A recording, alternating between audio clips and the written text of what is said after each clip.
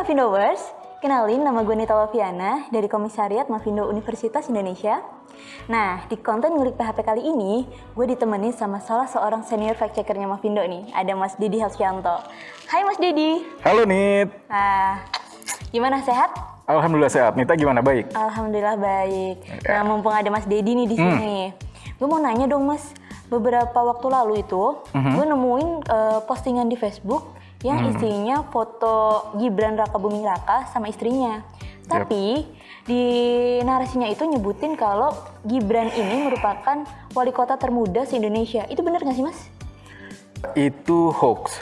Hoax. artinya tidak benar. Dan sudah dibuat artikel periksa faktanya oleh salah satu pemeriksa fakta junior Mavindo, yakni Lutfia.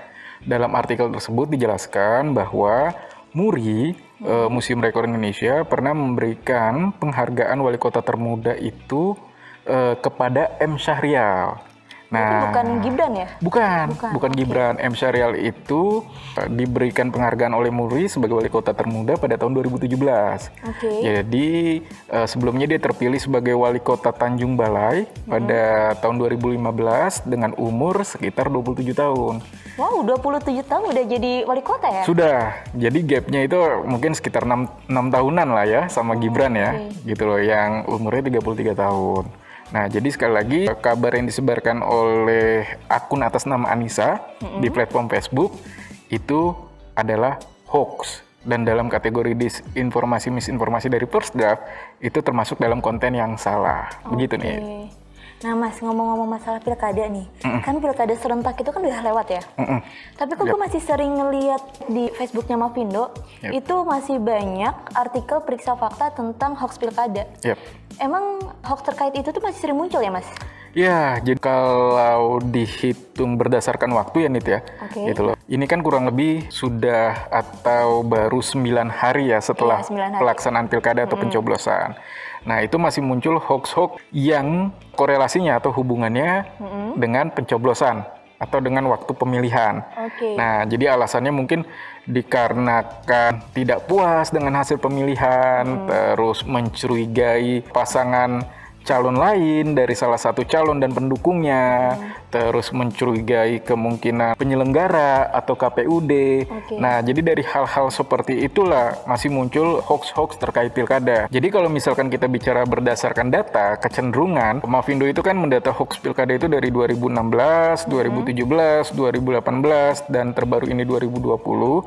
Biasanya setelah pencoblosan itu masih ada hoax-hoaxnya nih. Oh, masih berlanjut? Masih berarti? berlanjut. Oke. Nah, mulai mereda atau kecenderungan landainya itu turunnya, eh, misalkan MK sudah memutuskan perselisihan terkait pilkada di salah satu daerah, Ya. ataupun calon kepala daerah terpilih, ya kan, yang memenangi pilkada di satu daerah sudah dilantik, gitu loh, menjadi eh, kepala daerah, baik itu gubernur, eh, bupati atau wali kota. Nah itu kecenderungannya menurun nanti hoaxnya. Nah muncul lagi setelah dilantik itu biasanya hoax-hoaxnya itu terkait kebijakan. Nah kurang lebih seperti itu nih. Oke, nah mas ngomong-ngomong masalah hoax nih, di era digital seperti ini kan masih sering tuh gue nemuin hoax-hoax yang bertebaran kan. Yep. Untuk generasi milenial, generasi muda kayak gue gini ya, itu perlu nggak sih punya kemampuan periksa fakta? Ya, nah jadi kalau misalkan eh, bicara tentang generasi muda ya Nit ya, gitu loh. Mengingat gue lebih muda dari lu kan, Iya. itu penting banget, gitu loh. Terkait periksa fakta ya, untuk melakukan periksa fakta itu penting banget. Kenapa? Ada beberapa alasan. Misalkan pertama, kawan-kawan muda ini generasi milenial dan generasi Z ini masuk ke dalam digital native. Oke, Gitu. aktif di media sosial aktif ya? di media sosial, rajin posting, ya Iya, kan? benar. Peluang itu kalau dimanfaatkan oleh kawan-kawan untuk melakukan eh, periksa fakta dan menyebarkan sebanyak-banyaknya ke jejaringnya atau circle-nya, bayangkan berapa banyak masyarakat yang akan tercerahkan. Ya. Gitu loh dengan klarifikasi atau dengan artikel periksa fakta tersebut Betul. itu satu. Lalu yang kedua, selain artikel periksa fakta itu, kawan-kawan muda ini, generasi Z dan generasi milenial ini itu suaranya dalam sebuah election baik pemilihan umum ataupun pilkada itu cukup signifikan. Persentasinya saja yang berbeda dari tiap daerah.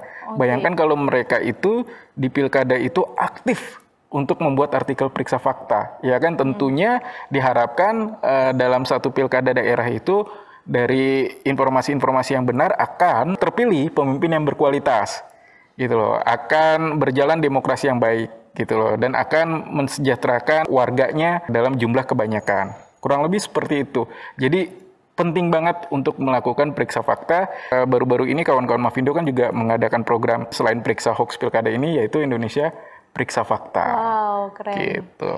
Jadi emang penting banget ya buat kita itu punya kemampuan periksa fakta. Penting banget. Nah, jadi gitu ya Mafindowers. Kalau kalian nemu postingan yang belum jelas sumbernya dari mana, jangan langsung percaya ya.